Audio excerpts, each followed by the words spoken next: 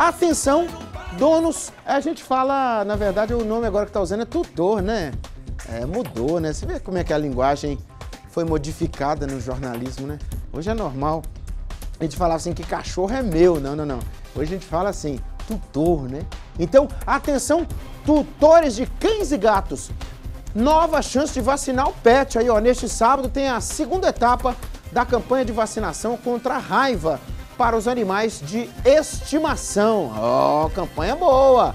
Tá aí, ó, de 8, e meia, 8 a 1 da tarde, né? Não deixe de imunizar o, o filhotinho, né?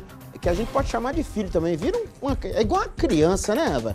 Agende o compromisso e confira os pontos de vacinação, ó.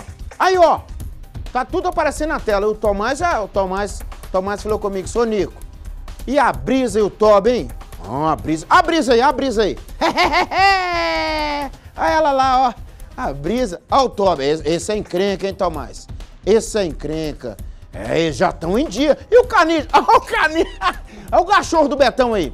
É o Canídia, já tá imunizada lá. É, tem a Raica também aí? A Raica. Essa aí é do Flávio Mota, né? É, vacinou e tá liberada. Volta o cachorro do Betão pra nós aí, o Canídia. Olha ele aí.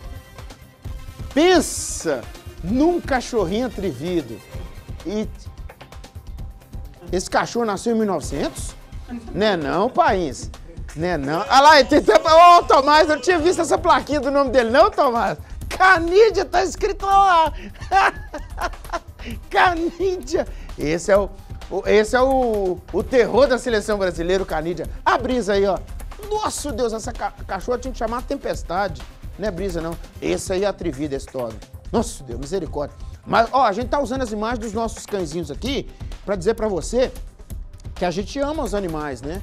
Mas você que tem cães e, e gatos aí em casa, levar para imunizar, né, gente? É, a vacina tá aí para isso, né? Ah, mas é de graça, né? De graça mesmo, mas vem do nosso imposto, então é nossa. Entendeu?